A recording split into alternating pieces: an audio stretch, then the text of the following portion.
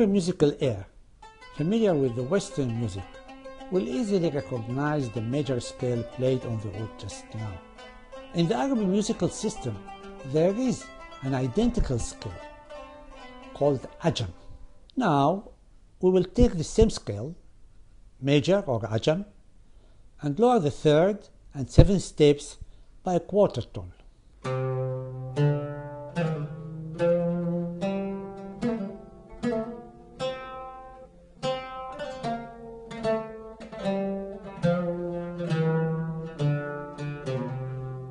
The resulting scale, called rast, is similar to major, but the two steps, lowered by a quarter tone, cause it to sound out of tune to Western ears.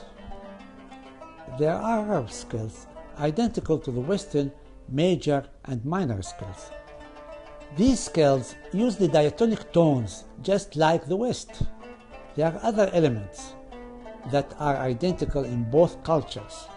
The book bridges a gap between the two cultures clearly and simply and makes understanding the Arab musical system as complicated as it looks an easy task.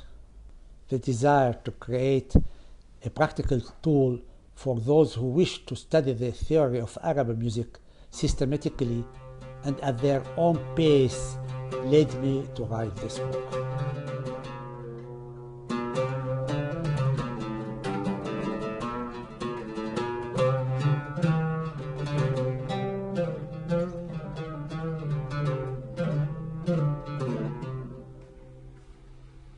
Taksim is a solo improvisatory genre which takes us on a journey which ends where it began. The instrumental genre is of great importance in Arabic culture and is explained at great length in the book.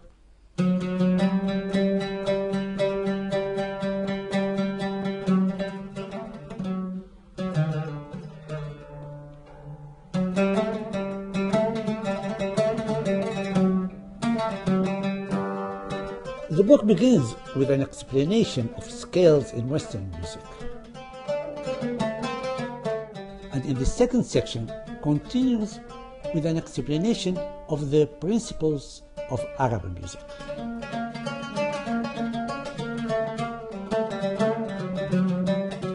In the first section, we learn the principles of the Western system that are relevant for us. The second section introduces us to the elements in Arabic music that are similar to those in Western music, which we discussed in the first section, and the difference between them. Thus, we will learn about the quarter, tone, octave, the names of the notes in Arabic music, intonation, improvisation, and many other elements that make Arabic music seem so different from the Western music. As we study this section, we will recognize the value of first introducing the Western music system in the first section. The third section presents a compilation of 48 of the musically important and widely used maqamat in Arab culture. Each maqam is presented in detail, including its scale, internal divisions, important pitches, and improvisational possibilities. In addition to the notated analysis which appears in the book, the maqamat are demonstrated by the performance of Taksim by the legendary Iraqi qanun player Avraham Salman on the disc which is included with the book.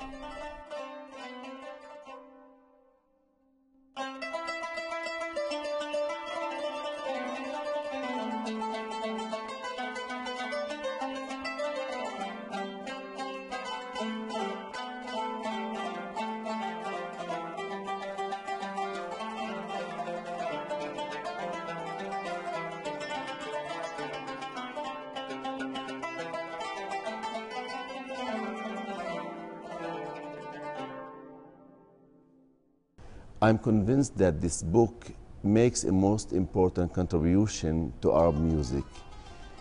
In fact, the book fills a serious gap in the study of theory of Arab art music, both for students and teachers. The importance of Arab musical tradition has been recognized today all over the world. And this book is the most necessary source of information on Arab music because of the systematic method in which it presents the theory. And I believe it deserves a place on the shelves of every musician, both those who play Arab music and those who play Western music.